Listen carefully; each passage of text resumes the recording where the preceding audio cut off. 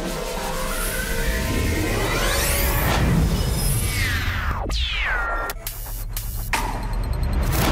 Herkese merhaba. Bugün 8 Nisan Perşembe. Bugün birlikte Litecoin'in teknik görünümünü konuşacağız. Litecoin dolar paritesi teknik olarak incelenecek olursa majör yükseliş kanalının orta üst bölgesinden fiyatlandığını söyleyebiliriz. 244 dolar kanal üst bandından gelen düşüşten sonra 210 dolara kadar geri çekilen parite şu an 222 dolar civarından fiyatlanıyor. 226 dolar direncine takılmış durumda. Bu seviyenin kırılmasıyla 235 dolardan destek alabilirse kanal üst bandına bir deneme daha gelmesi mümkün. Kanal üst bandı seviyemiz ise 240 dolar olarak gösterilebilir. Kanal üst bandı kırılıp desteklenirse ilk hedefi Fibonacci düzeltme seviyesi olan 265 dolar seviyeleri olacaktır. Kanal içerisinde kaldığı sürece Litecoin için görünüm pozitif olduğunu söyleyebiliriz. Son olarak Litecoin direnç bölgeleri 226, 235 ve 246 dolardır. Destek bölgeleri ise 204, 211 ve 217 dolardır. Bizi izlediğiniz için teşekkürler. Sonraki videoda görüşmek üzere. Hoşçakalın.